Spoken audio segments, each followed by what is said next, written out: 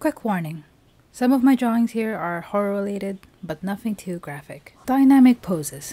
Being a self taught artist, a lot of my learning process has come from many tutorials from amazing artists who shared their own tips and tricks online. So, in an effort to not repeat all the tips that have already been taught and expanded upon better than I could ever do so, I will share the three things that I always try to remember in creating dynamic poses, making them able to work no matter what style you're using. Part 1 Character. One of the issues I see people have difficulty with in dynamic posing is maintaining the essence of a character itself. It's either you showcase a character design, sacrificing an awesome pose, or vice versa. Here are the three things that help me in maintaining my character's personalities when I'm posing. Number one, consistency keys. I'm sure there's an actual term for it, but consistency keys is what I'm going to call it for now. It's about finding the specific parts of your character that make them instantly recognizable. You see this all the time in most iconic characters in history, but for copyright reasons, I won't be showing them, so here are my own characters instead. This is Mary, and she's an original character I've had since 2017. At the time I first created her, there wasn't much thought of any storyline, just personality. And while I cringe at the original takes I had before her in the beginning, you could clearly still find consistency between all these poses. I did that by honing on several things her top hat, her clothes, and her spirally hair. All these little things add up to a nice recognizable silhouette, which is the number one thing you have to keep in mind for character design. What not to do is to prioritize detail over the silhouette like this old drawing I did way back in 2010. But that doesn't say that detail is bad. If emphasizing details is part of your style, then by all means emphasize away. In fact, this drawing was inspired by one of my favorite artists growing up, Hello Baby. I'll link to her in it, or him. Them. I'll link to them in the description down below. Their work is chock full of detail, but it never takes away from the actual silhouette of the subject of the piece. This old drawing was me trying to emulate their style, but at the time I didn't understand line weight and line economy as much as I do now. So the details I used just became so much noise and while you could technically see a recognizable silhouette, I think it could have been done better.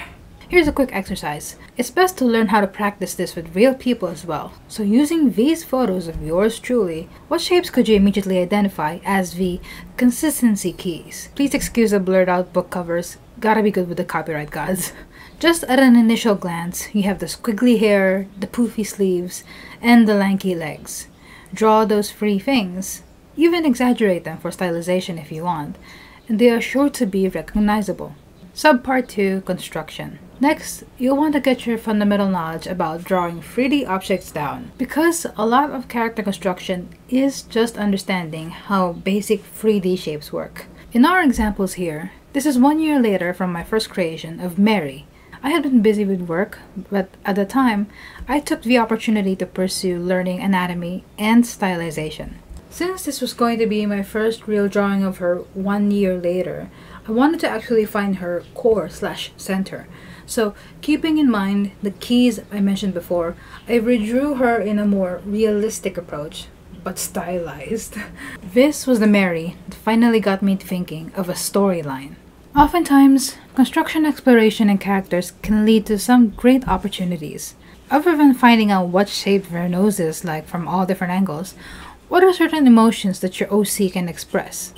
When looking forwards, they could be flirty, sideways, curious, but looking down, perhaps pensive or even tired. And looking up, that's completely up to you. Here are examples of what not to do. This is one of my earliest drawings I could find, dating all the way back to 2009. Yes, you could clearly see the style inspiration from anime, but with the big eyes, the pointy facial features that sit on a head that is way too disproportionate from the very flat body, and of course, the very unnatural and unnecessary posing going around. Of course, there are many areas of improvement in this drawing, but what I'd like you to take away from this is to not use the age old excuse of, it's my style. Yes, you could argue that maybe this drawing could be a style on its own, But since I'm the one who made it, I'm saying no. I was clearly very young then, a baby artist that didn't know much, and that's okay. Because I was definitely excited to draw, and I hadn't stopped drawing since. A lot of veteran artists, and just creatives in general, give the age old tip that is practice, practice, practice. But let's break that down a little bit. Time affords us the opportunity to learn from our mistakes, to practice, practice, practice. But most of the time, we think about it as the physical act of doing. That's why, to some budding artists, hearing the phrase could become a deterrent instead of providing hope. After all, wasn't it Einstein that said that insanity is doing the same thing over and over and expecting a different result? No, actually, it wasn't Einstein. It was Rita Mae Brown, an amazing mystery novelist who wrote this specific quote as one of her characters' quotes in her 1983 book called Sudden Death thought you should know. Anyway, the point I'm trying to make is that the other half of practice, practice, practice is using your mind. Look at a random object near you. Observe how it looks from one specific viewpoint. Then you grab the object and observe how it looks on all sides and all angles. That, my friend, is observing 2D and 3D perspectives. Keep that in mind, add it to your mental library, and soon enough, by connecting your observations to your sketching, it will become more intuitive with time. Quick exercise.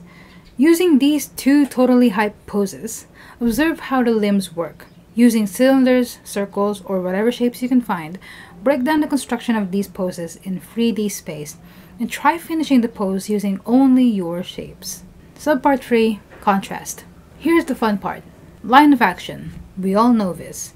We've heard of it time and time again. Makes dynamic poses go whoosh. But what if you don't want to make pose go whoosh? What if you want pose to just stay still? Contrasting shapes of body parts is where it's at. Take a look back at this pose from before. See how the right fist goes up with the left leg? That's contrast right there. Our bodies have weight, which is affected by gravity. So our bodies naturally compensate for shifts in our weight, so that we don't fall face first because of gravity. It's why we naturally walk with opposite arms and legs, and trying to walk with the same arm and leg feels unstable. Interestingly enough, contrast makes more relaxed dynamic poses still look dynamic anyway. It's about finding the natural straight and curve in a pose, and applying them as they would naturally occur. The best way of sometimes doing this is to simply do it yourself, or look to others and observe if they could do it. Afterward, when you've got the relaxed poses down, then you can try bending the rules a little bit for example, here are two more of my OCs, a merman and a lynx lady. Their designs intentionally have very contrasting body parts, and that's part of why I love them so much. The merman has its upper body that has the general mobility of a human male torso, with the limitations of its bones, joints, muscles, etc. But the tail is fluid, thus giving more opportunities to create contrasting shapes, both in action and inaction and vice versa for the Lynx lady. With her, I wanted her body parts to be more angular, and yet create an illusion of curvature. It makes a very fun challenge for posing and contrasts nicely with the merman. Speaking of which, another thing you can do is to add contrast in characters posing next to each other. That way, it gives off a feeling of fitting in each other's space like pieces of a puzzle, or even vice versa. Here's an example of what not to do. Alright, this regarding the fact that this OC has six fingers, which he doesn't. The main issue was that I took contrast to the extreme. Our heads cannot turn that way unless our shoulders turn to compensate for it. But at the time, this pose was so common in anime, I literally have at least two old fan art drawings that I can't show because of copyright reasons, but they're doing the same neck cracking motion. Here's the same OC drawn a year later, and sure, there's clearly been some learning done, but both in fancy smancy text and interesting contrast. But contrast for the sake of contrast doesn't work as well in the context of her character and has no value whatsoever. Plus, her character design overall is just suffering a little too much with details that at the time I thought were cool, but now I just think are too much. But don't worry, high contrasting poses still work, no matter what style you use. Great examples of these are present in manga like Soul Eater, My Hero Academia, and Attack on Titan, with specific artists. Chew's work on all things Harley Quinn or Artgerm's on Catwoman. I'll link their profiles down below or you can just Google them yourselves. As an exercise, here's a very old fan art I did of an OC belonging to one of my longtime favorite artists, Shaun Healey. I found him during the prime age of DeviantArt and I'm definitely linking him below because I just found out that he's a CGMA instructor now. That's amazing. I was really proud of this piece at the time because it was the first big contrasting pose I've ever done and that's also thanks to the character itself. Her arsenal is this uh, giant saw blade weapon so it takes a big swing to move. But beneath all the cool getup, try to see the pose underneath. How is her upper body twisted in relation to her lower body? Where are her arms? Her shoulders? Could you push this pose more to heighten the anticipation? Part 2 Composition. Most of you have already heard of this term in the environment art world or cinematography, or at least that's where I first heard of it. But composition itself simply means putting together. And when it comes to dynamic posing, it's putting together everything that was mentioned above in a way that naturally flows through your art. Make your character silhouette distinct with the consistency keys. Keep in mind the construction of your character's body. What not to do is to have elements that contradict themselves. Here are some pieces I did in 2011, and I'm pretty sure you can see what I mean. With the chocolate one, even disregarding the bad values going around, zoom in, focusing on the girl. There's there's just no way that she's remaining balanced as she is with how her legs and feet are bent. Now her upper body is leaning away, away with her arms tucked in. I tried doing it myself and no, I will not be showing documentation of that. But basically, her pose isn't possible unless she's just naturally flexible with her feet, ankles, and have impeccable core strength. And then the second one, well, I do still think that this character design is cool. The consistency keys are there. The, the contrast, the construction, sorta it just doesn't work. Same as the chocolate one. Sure, it fits the old style of shoujo manga, which I was heavily influenced by back in the day, but all these inconsistencies end up making it look like quirkiness for the sake of being quirky, and I don't want that. Now, by this point, you might be thinking, hey, it's natural to look back at old baby art and cringe at all the mistakes you've made. That is true. But it doesn't mean we can't backslide and make the same mistakes again. Case in point, here is a self-portrait I made last 2019. I do not I do not like this at all. But at the time I did. So much so that I even turned it into a YouTube banner. Now though, when I look at it, I can't help but feel how wrong it feels. Yes, you've got your keys, your construction, your contrast, but composition? All these elements working as a unit, it feels wrong. Compared to a much earlier self-portrait I did two years before, this one feels much better. But why? If anything, there were a lot of improvements on the fundamentals in the 2019 one, but the 2017 one still feels right. Why? Well, that's what our last and I think the most important part of dynamic posing is about topic is about English. And yet I don't see many people discussing it. You probably already caught it mentioned once or twice here actually. So part 3 context. Of course, we're going to start with the handy dandy Merriam-Webster definition first, which states that context is parts of a discourse that surround a word or passage and can throw light on its meaning or V. Interrelated conditions in which something exists or occurs. And with drawing dynamic poses, that basically translates to Does your pose actually fit the scenario it's being used in? I know it sounds very rhetorical. Your answer is obviously going to be yes, because it's your character and no one else is going to know them better than you. But that's just the thing. You don't. Or at least not immediately. When you're at a point where you can naturally think about your OC's every reaction to forces that come for them, then you're on top of your game. Case in point, look at every single piece I mentioned in the what not to do sections. All of them miss that one important thing context. Heck, I'll add even more. These were freebies I did for other people's OCs back in 2020, and they look so flat and straight when I really thought they looked cool at the time. And here was an old group commission from 2014, and they were all supposed to be superheroes, sure, but they all didn't have to have one knee up, which was not something my commissioner specifically asked for, by the way, but they were so nice. And this princess looking one was a birthday gift from my best friend, bless her soul, and there's absolutely no context other than she's some birthday princess. But the worst has to be this one from 2011, where he's supposed to be in some giant ice cream sundae world, and he's doing that same quirky feet are twisted pose. It's all just. Uh, here is what you should do. Number one, know the purpose of your pose. These poses were meant to showcase the personality of each of my characters with just one look.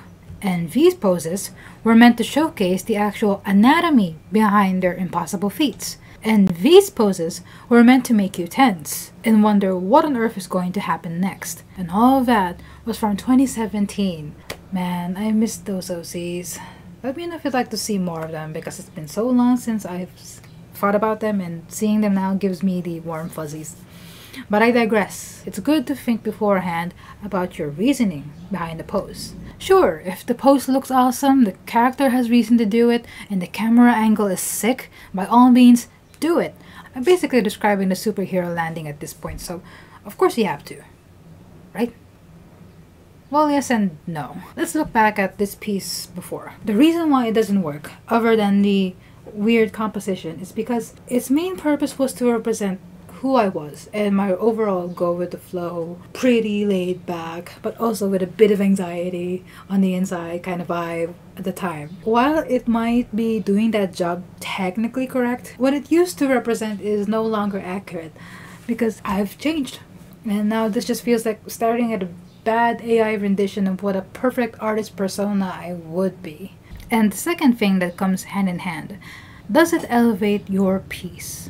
Again, it's a pretty obvious thing, but in my case, as you've seen from all the old art I've shown you, it can be easy to forget. I could be spending so many hours trying to nail a really cool pose from a really cool angle, tearing my hair out to make sure the foreshortening and the proportions are right. But when it comes down to it, how much time are people going to spend looking at that specific image? And how much of an impact do you think will it make? If your answer to both questions is not very, then, my friend, you may want to consider trying a different pose entirely. Something that gets the same emotion across from the character, and also what you want the viewer to feel when they look away. And vice versa is true. If you feel like a character has the potential to become great with a really fun, dynamic pose, which serves their story and is achievable in your current skill level, then go! Do it! Do some thumbnails, get your character's anatomy down, and make them shine. In conclusion, what makes dynamic poses work the best, based on what I've observed as a self taught artist, is that sure, getting your fundamentals down in character and design and understanding contrast and composition is vital. But I would like to argue that context is the real key here, and your careful use of dynamic poses in the best moments of a story matters. Know when to hold back a cool pose if it's only making the rest of your progress suffer, so that when you do use them, the moment stands out and becomes much more memorable. Unless if it's for comedic effect, or the context of the characters are that constant dynamic poses are natural. Those are pretty awesome too, and I think you already know which stories I'm talking about. In that case, more power to you. Thank you so much for watching. The article version of this video is in the links below. And if you'd like me to do more videos about the original characters mentioned in this video, make sure to leave it down in the comments. Especially since May is coming up soon, and that old abandoned crocodile girl drawing from a previous Mermay is right there ready to be finished. All the art scrolling past are previous pieces that were generously gifted to me over the years. I still love and cherish them to this day. Thanks for watching, and take care. Bye.